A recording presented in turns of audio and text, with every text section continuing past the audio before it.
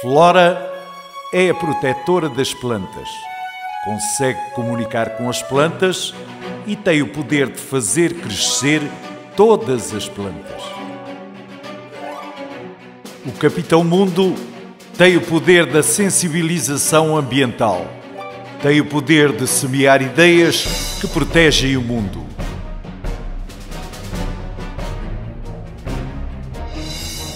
Amaralis é a protetora da fauna. Com a flor encantada, tem o poder de curar todos os seres vivos ao seu redor.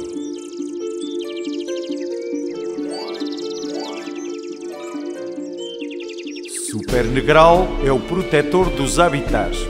Quando toca a sua gaita de foles, a música protege todo o habitat.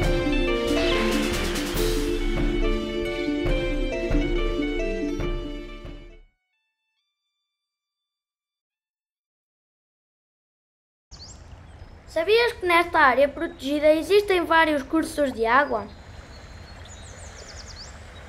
Nesta área protegida, além do rio Tejo, existem outros cursos de água de grande importância.